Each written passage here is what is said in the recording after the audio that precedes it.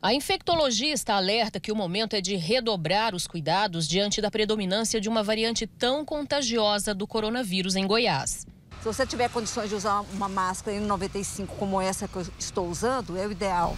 Tá? Se não, usar uma cirúrgica com uma é, de pano por cima ou usar duas de pano, sempre com tecido bem fechado e grande ao ponto de cobrir bem o nariz e o queixo. Evitar uh, ambientes fechados com mais pessoas.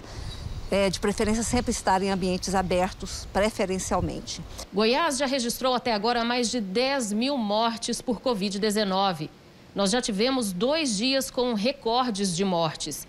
Dia 10 de fevereiro, quando em 24 horas 267 pessoas perderam a batalha para a doença e 16 de fevereiro, com 220 registros em um único dia. Segundo a médica, ainda teremos um crescimento no número de casos pela frente, até que a curva de contaminação se estabilize. A vacinação que avança lentamente é nossa maior esperança. E as vacinas continuam sendo eficazes mesmo nesse cenário de novas cepas circulando. A AstraZeneca e a Coronavac, que são as duas que nós temos no momento, os estudos que temos até agora é, mostraram eficácia contra essas variantes. Nesta quarta-feira, a Secretaria Municipal de Saúde divulgou que a variante P1, descoberta em Manaus, já é predominante entre os pacientes com Covid na capital. Das 30 amostras coletadas em diferentes regiões de Goiânia, 28 estavam contaminadas pela cepa descoberta no Amazonas um índice de 93%, como explicou o secretário municipal de saúde.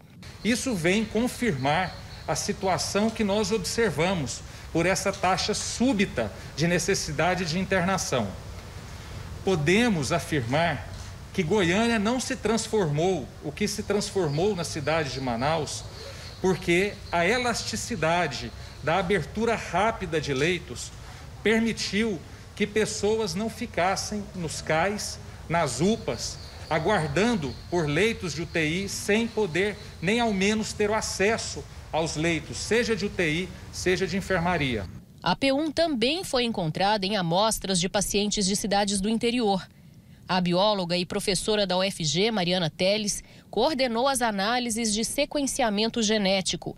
Além das 30 amostras de Goiânia, foram analisadas 30 amostras de 21 cidades do interior em 23 delas foram encontradas a variante de Manaus. Em Goiânia, a gente encontrou também uma amostra da variante do Reino Unido, que é outra é, variante mais preocupante do ponto de vista epidemiológico nessas 30 amostras, né?